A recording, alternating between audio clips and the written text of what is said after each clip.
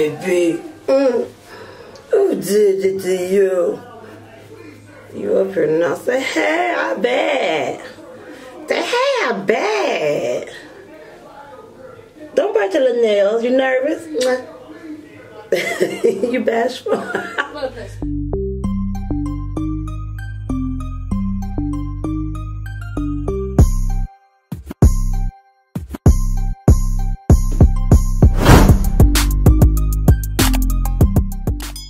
Hey, my honey. So today we are going to be taking this raccoon looking wig, okay, to a whole nother level. And we're just going to kind of restore it and put a blonde highlight in the bang. So basically today we're just putting the highlight in the bang, okay? Just jazzing the whole wig up. It's already brown and I have already sectioned out the piece that I will be lifting. So since the wig is brown, it means that it's already lifted, which is going to make this process so much easier. Okay, we're also going to bleach the knots. Okay, I have not never done that to this wig because as you can see, them knots are black and they don't look natural at all. So we're going to bleach those knots. I have already made the mixture up. Okay, so it's not the typical thick mixture that you would make. It's kind of um, loose, so therefore I can get it through that hair properly. I'm using the 40 developer. Um, the hair is already lifted, so you could just use 30. Okay, you probably could really even just use 20 but I only have 40, so it's like, okay, I'll put it on there and just keep an eye on it. So therefore, it does not over bleach, okay? And then by the time you go to wash it out, if it's over bleached, it ain't gonna do nothing but shred away, okay? It'll be over processed and burnt. So I'm just parting out my section of what's going on so I don't want any other hairs in my way. That's what I'm doing here. Because once you start using that bleach it's definitely going to be a mess if hairs is in the way. So that's how it looks now okay? It's already has like a, a lightened type of honey blonde to it and then the roots are darkened. So I want to keep those roots dark. I'm going in with a white little bleaching brush okay? Coloring brush however they call it but I have a white one, okay, because I want to get more of a surface like I'm doing now. So I'm just basically taking part by part of that piece that I sectioned out and just putting that, um, that's what I'm doing, man. Putting that little bit on there and then I'm going to part another section, and put that on there, rub it through, and I'm kind of combing it with that brush, like kind of putting those bristles through each strand of hair if I can, and then I follow through and rub it. That kind of assure that you know is getting within every strand of hair. And then um, I'm turning my brush vertically so that therefore I won't have a blunt ombre line, but I'll have like a seamless ombre line. So that ombre is just from dark to light, dark roots leading on into the lights. Okay. I am on my next section, and it's pretty simple, guys, because it's only a bang. So it's not like I'm doing the whole wig at this point. But since this wig is lifted, my honeys, if you guys would like to see me do the whole wig or some highlights here and there, or you know, what, what y'all want to do with this wig, okay? Because it lifted so easily that I'm like, it's time it's time. I, I, would like to start doing that and then put some color to it and just see. You know, I can get this baby shot all the way up as blind as possible and dye it blue, purple, orange, whatever color, you know, we come up with. It's fall, of course, so it'll probably be more of a what? Burgundy or, you know, just something cute. I really, you know, my favorite, favorite hair color is mint green. I don't know why, but I like mint green. I just go buy me some weave, my honeys, and put it in. I don't be dying it, doing all that extra. So, anywho, by the time we get done with this little section, okay, we're gonna go throw it off into the aluminum and that just helps it to process quicker okay by the time you feel that aluminum my honeys you will feel it's all warm and heated guess what? Them chemicals. Yeah, them chemicals is in there, man. You know, kind of processing that hair. So, so go ahead. Go ahead. What, what you got to say, man? Go ahead. Can I do a voiceover? Hmm? Oh, you want to talk when I'm talking? Okay. Anywho, so yeah, um, then we're gonna proceed to do the knots and everything else, my honey. So just stay tuned. Stay tuned you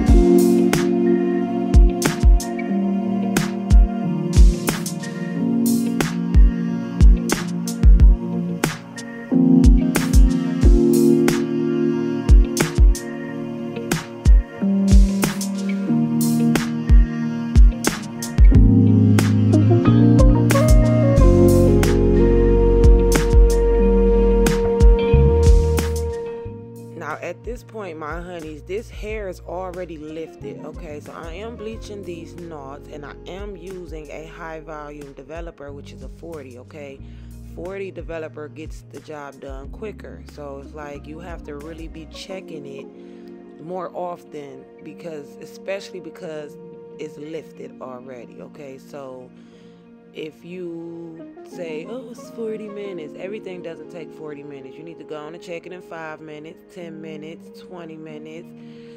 Uh, you could even check it at eight minutes, six minutes, however, just check it and see how comfortable you are with the extra lift, okay?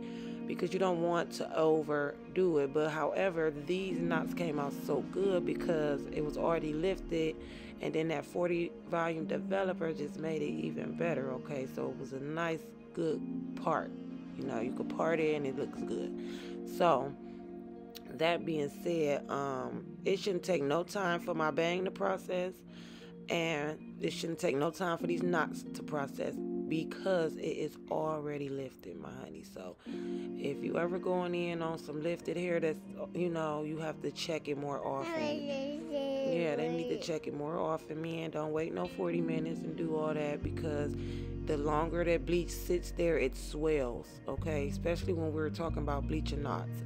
It swells up. So by the time you know it been swelled up it may be already done or you know it may be lifted enough for you but then you don't let it sit too long and now it's going through the lace it's not considered over bleaching it's just considered letting it sit too long and now you you have went beyond the knots and everything is bleach okay so now you got to do some color correcting and spraying your parts and all that and you don't really want to have to do that but it happens it happens, my honey, and guess what? That's what we do.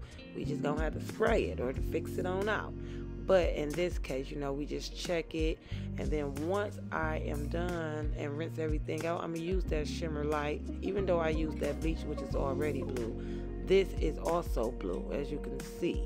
So it just will make it not look all yellow, brassy, and boom, this is what we have. Okay, so I loved it that um result, how that came out.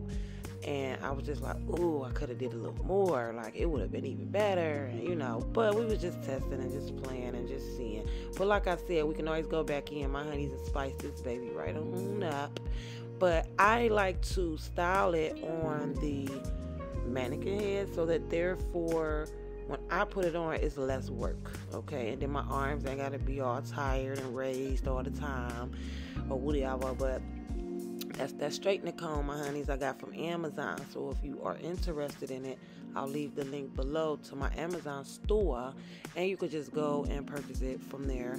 I got a lot of good stuff down there in that store. It's like every video that I do and whatever I use, I go ahead and um, put it in the store, okay? If I buy something from Amazon, I put it in my store so my honeys can see what I'm buying. You know what I'm saying? So check the store out, see if you're interested in shopping there. But it's just all the goodness that we need basically for our hair, our wigs, whatever. But I'm making my part out now. I'm just basically putting that um, wax on there and using that hot comb, and then I'm gonna put this Chi Silk Infusion on there now because I'm to flat iron it all out, okay?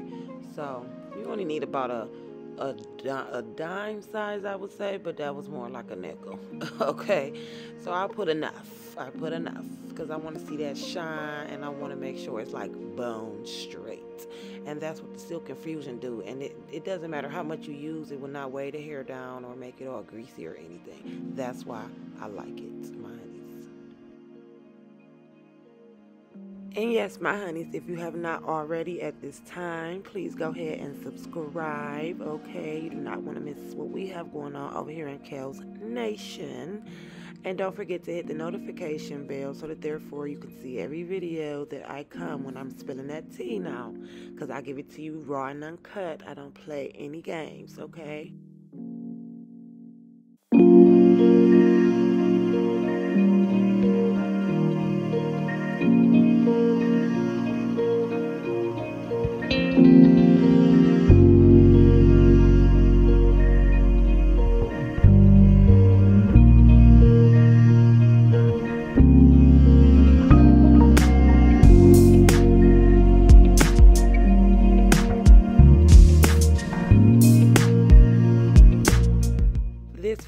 That I'm using, my honeys, is the Infinity Pro by Conair. Now, you know the blue ones that I use, they are skinnier. I guess they'll be considered um, one inch. But um, these ones are wider to do more hair, okay? I, I've been looking for these. Just a wide flat iron in general, my honeys. But these are made by the same company. My blue ones is made by, which is Conair, and my blue ones is called Infinity but these ones are called the Infinity Pro. So I feel like I got these down in the Amazon link as well. So if you guys are interested, because it do, it gets that hair bone strict, okay? But my friend came by, I, did, I flat on her hair, and she had brought her Babyliss, okay? So I kind of compared the two, and them ain't nothing touching them Babyliss. I'm sorry. Okay, it's like them Babyliss get that hair bone straight. Okay, so she had a sew in, and the Babyliss was excellent for for that. Like I used mine because I just wanted to compare, and it was no comparison. But these do get the job done. As you can see, this hair will have its bounce, its shine, and all of that. So stay tuned, my honeys.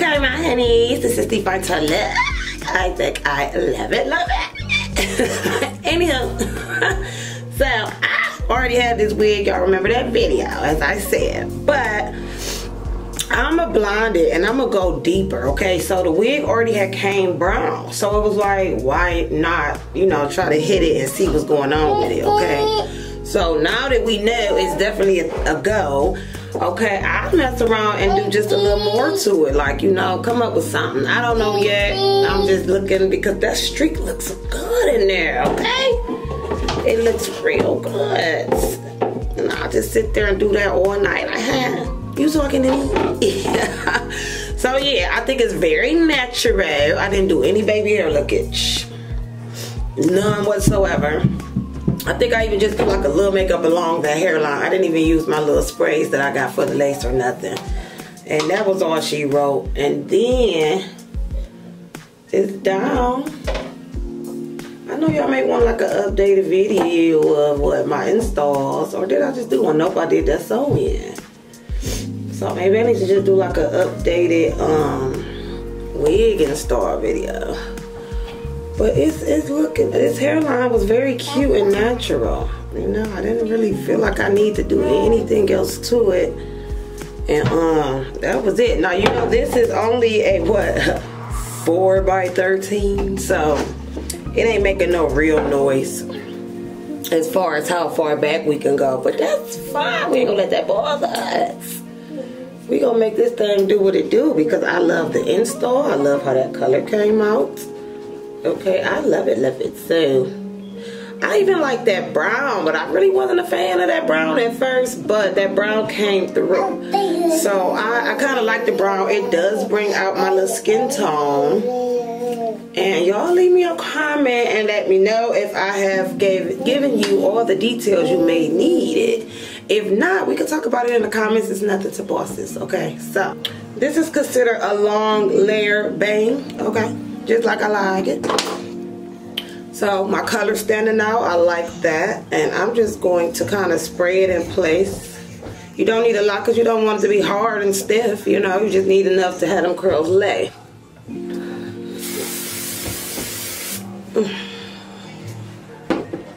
And that's it it's nice and blunt and just flowy, you know, it's, it's nice.